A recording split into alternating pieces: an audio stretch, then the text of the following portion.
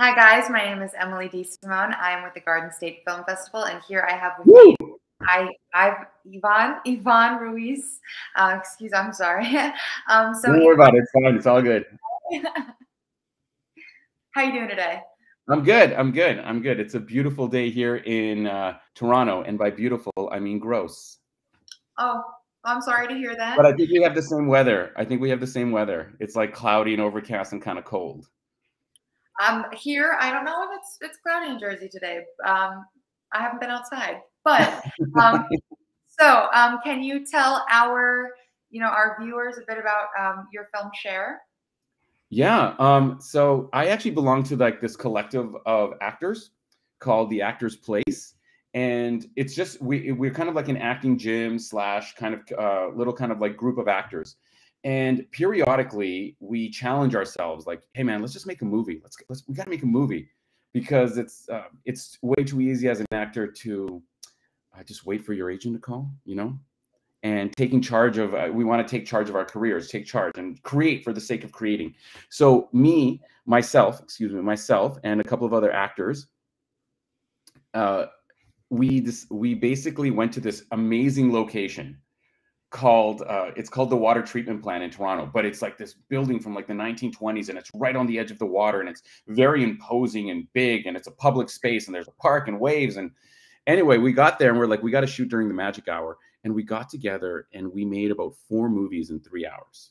Wow! And we did it all. There was uh, my Brian, who was the film, uh, the director of photography slash our director, myself, and Michaela, and two other actors that, but they weren't in this particular scene.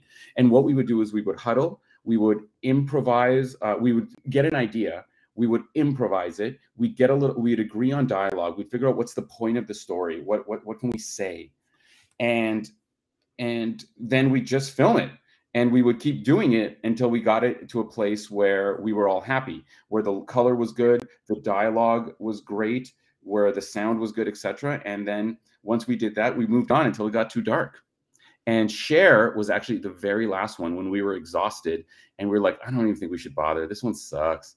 Um, but then I was, you know but i was like no we gotta we gotta make this happen. We gotta make this happen. Look at the light. Look at the light and in fact, the background, that's not it's it's supposed to be an apartment building. That's actually the front entrance to the to the water treatment plant. Mm-hmm. So um, can you tell me a bit about the premise of share for your for your audience? Yeah, well, oh man, so you've had your heart broken, right? Horribly. Yep. Yeah, yeah. And then you see that person. Mm-hmm the idea was um, there was a the the first woman that broke my heart. Mm-hmm. Um, I hate her to death, and because uh, she broke my heart. Anyway, so uh, about oh god, maybe like four or five years after she had broken my heart in the worst way, mm-hmm. she moved to my neighborhood, and I saw her constantly. Okay. Morning, you want to get a, a? I'm gonna go get a coffee today, and my day's ruined because I have to see this horrible can you bleep me or is this live? No, Back you're live. this is all live. don't worry, I won't. You don't bleep. Bleep. That's, you all know what I'm saying. You all know what I'm saying. Okay. So yeah, and so when we were thinking about like we wanted, we we kind of gave ourselves a theme of heartbreak. We did a scene about like danger. We did a scene about like just these overriding themes, and so we mm-hmm. decided to do a scene about heartbreak. And mm-hmm. that's the first thing that popped into my head. And then because at the same time, while I was saying we got to film one more, everyone else had their phones out looking for Ubers because it's the treatment plan is a little out, out like just at the edge of the city. Uh, we thought it, we combined it with the idea of back in the day, you know, the the concept of an Uber pool, like you're sharing an Uber. Okay. Or you're both picking up an Uber from the exact same spot. Mm. And what would that look like um, you're starting your night and you see this person that broke your heart and mm-hmm. you have to have like a civil conversation with them. Okay. and that was the that's the premise. So what was uh what was it like uh filming this like like what was the process like? Can you tell our, our viewers? Yeah. Yeah. So because we had improvised the scene several times to get to a point where we had like some fun like some good dialogue um but we were never consistent. So we filmed it a few times, and every time it was a bit melodramatic. Um, and uh, as the you know, as an actor is sometimes you get a little neurotic and so i just kept thinking about this girl and i kept thinking about the last time i saw her. Mm-hmm. and um, you know when every time she said oh hi hey how are you? How's it going? I wanted to be like you fucking bitch you've ruined my life. I'm heartbroken. How the fuck do you think you know? Oh. that's that's like that's what was in my heart but i would always be like good good how are you and uh-huh. so in the session i decided to just say like uh, I, I, didn't tell Michaela I was doing. She's like, "How's everything going?" like, "How do you think I'm feeling?" I'm I'm heartbroken, and I didn't tell her I was going to say that, and because I was really feeling it, because I was thinking about this girl, I was imagining Michaela being this girl. Michaela's the other actor, and then that response that she gave was very nice. And afterwards, she's like, "You know, you made me feel terrible." Even though we had never dated, we're just friends. Right, right. She, she felt that guilt of when she had done it to someone. Mm-hmm because we've all as much as i hate this girl for breaking my heart i'm i've broken people's hearts uh, i mean I, you know it's like we you will be on both ends of the stick you know what i mean mm-hmm. like I've, I've definitely broken someone's heart and i've had someone break mine and now it's just it's life um so when did you can i just tell you something can I, can I just that maybe you want to hear a, a beautiful line sure. we're all every single one of us is the villain in someone else's story I believe that. I'm not sure where that came from. I'm sure I don't know if you've heard it before, but that's the first yeah. thing. I, I no, I, I, it's true. Um, people to ever we are a different um, piece of uh, someone's story. You know. Um, when did you end up uh, filming Share?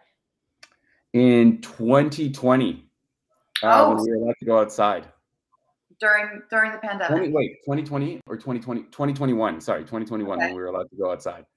Um, okay. I get that that whole time period is uh I remember we were all allowed to go. That's why we filmed it all outside because we were like, mm-hmm. oh, we are finally allowed to like connect, talk with each other.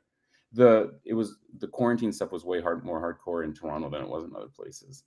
So I think that was in it might have been August or September of 2021. Okay. Well, and uh, how was so? Um, I'm not very familiar with what Canada's like restrictions you know, are slash were like somewhat yeah. of like heard in the media, but I mean, as a Canadian or someone at least that was staying, you are Canadian, yeah. Um, so a Canadian staying, you know, it, under those regulations, how did that affect your filming process?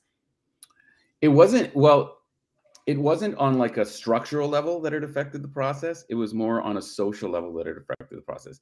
So we all saw each other, and we were like we, we, were like we have to be outside. We have to be outside. We have to be outside. Mm-hmm. and one of our one of us one of our friends was like i'm gonna wear a mask the whole time. Cool no problem. And it was more like the first here's the thing as much as you try and do it when we be um, the habits from before 2020 don't disappear like people were afraid that oh no one will ever blow out candles again yeah, well, that's bullshit because we've all been blowing out candles and no one cares anymore. Do you know what I'm saying? Or we're going to wash our hands every single time we come back into the house. Right? Like, yeah, I'm mm-hmm. sure we all do that. Yeah, we all do that. Oh, yeah. I've never gone, you know, I've never done that since 2020. Of course I haven't, right? But the initial maybe 40 minutes was a very kind of like standoffish, everyone keep distance, we have to figure it out. Then by the end of the session, we, you can't help but resist social norms and we fell back into the social norms of before. You know what I mean? Mm-hmm. So that's kind of the best way I can describe the filming of it. Uh, how did you find your cast and your crew? So we were all we're an actors collective. So I run this thing. It's called the Actors Place, the theactorsplace.org. Um, we get together. We run these kind of like gym sessions mm-hmm. every week. Usually, couple before 2020 was a couple times a week. Now we're just doing once a week, where we just get together and act. And okay. periodically, um, you know, I'll get together with a few friends. Will be like, "Yo, man, let's make something this weekend. Let's just film." And because we have this network, what'll typically happen is one person will email like ten of us and be like, "Yo, I got this camera. I'm really loving it. I'm, I'm playing with it. Let's make a movie. Let's just film something. Let's just make. Let's create for the sake of creation." And and you know, four like nine people will say yes five people will say they can make it on that day and three of them will show up you know as is with people you know what i mean? And so that's what happened. Um, wow. and then we it was actually brian the director of photography and director who really was the person who wanted to do this because he found the location and he's like oh, let's make it this location. Um, he's very shy though he so he says he didn't want to be here today. Um, but that's uh, but that was his. Uh, it was all his brainchild. And then Wow. whoever, yeah, yeah. And we did, like I said, I, I I'm not sure if I submitted the other ones to you. We did a couple of films that day with the other Mhm. actors, um, and they were. I, I personally thought that out of the five we made, I think we made five. I can't remember. Out of the five, we made three of them were badass. All of them were short because we wanted. The other thing was we wanted to be like bite size. You know. so why did you choose the Garden State Film Festival? Um, a couple of reasons. So, number one, we wanted to reach out to film festivals that had a bit of a, and I hope you'll take this as the compliment that I mean, a bohemian vibe. Mhm.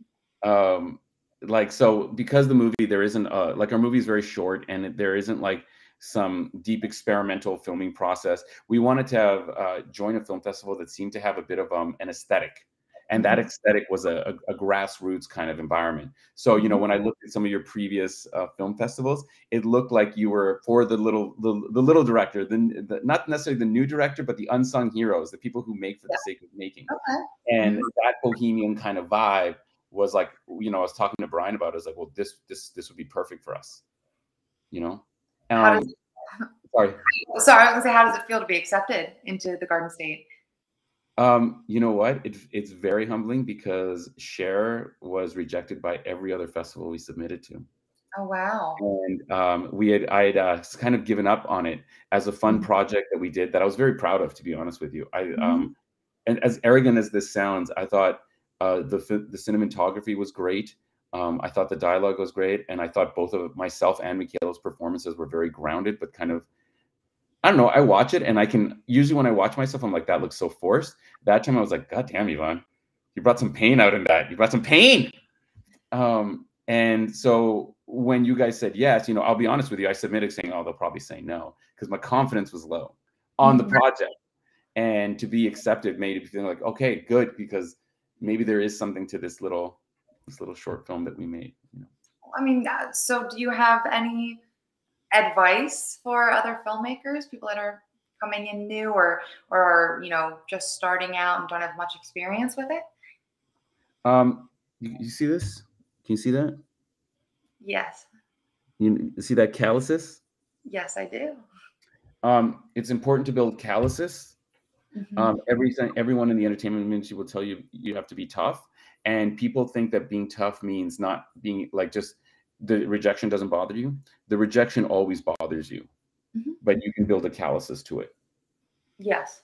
you see what i'm saying Yeah. um, uh, mark duplass had a, this great saying saying make lots of shitty movies until you make a good one and like i said that day we filmed five films two of them you know You got you got yourself But- something. but through the process of creation, we discovered things, and it's really this in particular, um, Emily. This has been a you guys accepting us has been in particular a very um, motivational thing for me because Mhm. I've had this idea that I gave up on for a romantic, uh, a coming of age story for people, uh, but it's people in their sixties and uh, it's it's this beautiful story that I, I don't know I thought up one day and I love it and I'd given up doing it because I was like you know no one no one likes any of the films I make. In fact I've made a bunch of films and submitted to festivals and none of them have been expected anywhere. So I thought like I why even bother? But this has kind of reignited a little bit of a spark in me to if not write a feature film write a treatment for a feature film for this uh, story Mhm. that is I think is fucking amazing. Sorry, I keep swearing. I apologize. Um, I think it's an amazing story, and I'm kind of reinvigorated to pursue it now. Well, Ivan, thank you so much for taking the time with us today, um, and for you know talking about your film with all of our viewers. Um, we're really It's my excited. pleasure for having me. your film. So, guys, you can see the film Share on Sunday, March 26th at Asbury Lanes from 2:45 p.m. to 4:45 p.m. Thank you Yeah, again so much. Have a It's great going to be a great montage, and I'm going to try and make it out actually, because I will be in the states in March. So I'm going to make an effort. Um, not you know, my film's going to be like a little tiny fraction of it, but to come out support. Hey, um, absolutely. yeah, maybe take a photo or two. All right. Well, we'll we'll see you there. I'd love to be there. Yeah, and I'm very excited for. Um, I want to say thank you again for not only the opportunity to talk to you today, but for giving this little piece of love, um, this little less than two minutes piece of love, um, an audience. So I hope everyone who watches it um, enjoys it. Uh, have a great day, Ivan. We're happy to have you. Thanks, Emily. Bye.